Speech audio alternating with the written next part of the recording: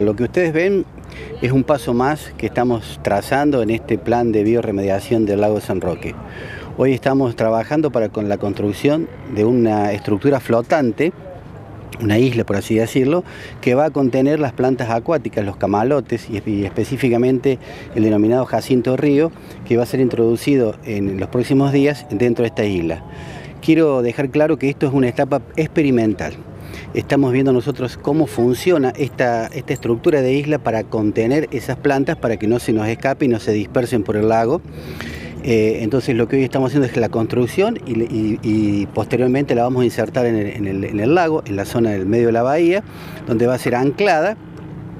después de un par de días de experimentar cómo trabaja en el agua y cómo se puede trasladar y cómo, y cómo está sujetada, vamos a instalar los camalotes, esto que ya tenemos, este, que se han reproducido en el Centro de Piscicultura, para que estos camalotes empiecen a trabajar, a consumir el fósforo y el nitrógeno que tiene que tiene el agua.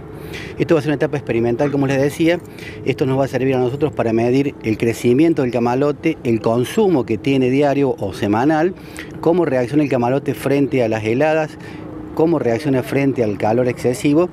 para que nosotros después podamos determinar la cantidad de islas, la cantidad de camarotes que tenemos que insertar en el lago para que hagan este proceso de, fitorremediación, que es el proyecto que hemos instalado desde la Municipalidad de Villa Carlos Paz. De acuerdo a los papeles y, a las expectativas que hay y lo que se ha hecho en otros países, nos hablan que por cada metro cuadrado se consume un metro cúbico de materia, de materia orgánica que tiene el lago. Así que es, es muy, es muy este, importante este consumo que tiene. A nosotros nos genera una expectativa muy alta porque eh, el tiempo que puede llegar a demorar para limpiarse es mucho menor del que, se estaba calculando. De todas maneras hay que tener en cuenta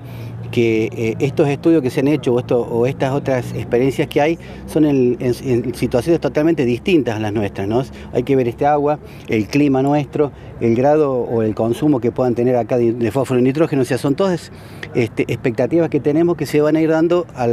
con el transcurso del tiempo